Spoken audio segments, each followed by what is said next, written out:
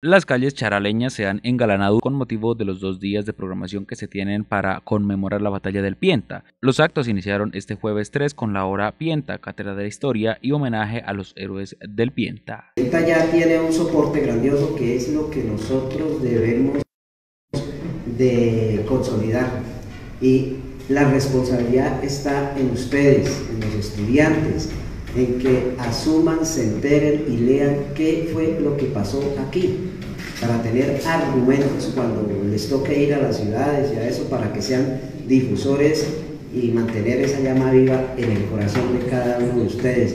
Aquí nuestra región, desde antes de los comuneros, es fabuloso por las personalidades históricas que tenemos y tenemos que empezar a descubrirlas y a sentirnos orgullosos de esta tierra. Mañana 4 de agosto la programación iniciará a las 7 de la mañana con los honores militares y ofrenda floral. A las 7 y 30 el desfile histórico en memoria a la libertad y a las 9 y 30 de la mañana se realizarán los actos protocolarios, saludos, reflexiones y un minuto de silencio por los mártires de la batalla del Pienta.